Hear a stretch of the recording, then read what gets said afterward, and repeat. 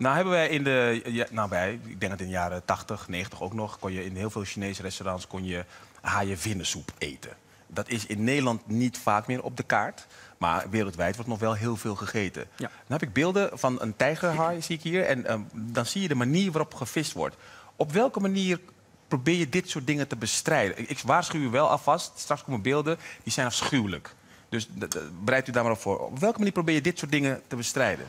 Nou, kijk, wat je hier ziet is dat. ehm, kijk, haaien zijn ook soorten die, die, die. Het duurt heel lang voordat ze een leeftijd hebben bereikt waarin ze zich kunnen voortplanten. Dus op het moment dat zo'n dier wordt gevangen, dan kan het best zijn dat hij zich nog helemaal niet voort heeft geplant. Of eh, hè, dergelijke. Nou, wat er in feite gebeurt, is dat die, die vinnen worden er afgesneden en het dier wordt gewoon levend weer. eh wordt teruggegooid eh, hè, in zee. Zonder ze vinden. Mm, Ja, zonder ze vinden. Nou, en kijk, dat is. Ja, dat, we hebben, we hebben, ik geloof dat we ruim 90% van de haaisoorten wereldwijd hebben we gewoon verloren in de afgelopen 30 jaar. En dat is natuurlijk de top predator. Die staat bovenaan het ecosysteem. Die is ontzettend belangrijk. Dus er begint ook een enorme imbalans te vinden. Andere diersoorten die ineens groeien, andere die verdwijnen.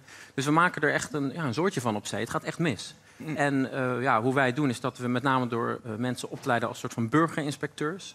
Dus het feit dat, dat we eigenlijk mensen die twee weken per jaar geven, gewoon naast hun carrière of familieleven, eh, vier dagen opleiding. En dan ga je echt de havens in voor tien dagen. En dan verzamel je de bewijslast die uiteindelijk een openbaar ministerie in, bijvoorbeeld in een land als Italië, waar we veel werken. En wat, zie, wat, wat vinden ze dan? Nou, wat ze dan in feite vinden zijn eh, bijvoorbeeld haaivinnen die worden geland. eh, of dat je in een haven loopt en dat je ineens een soort koelcel ziet waar allerlei illegale haaivinnen liggen. Maar op allerlei vlakken. eh, illegale kabeljauwvangst, gebruik van drijfnetten, dynamietvissen. Daar vinden we ook bewijs van, ook in Europa.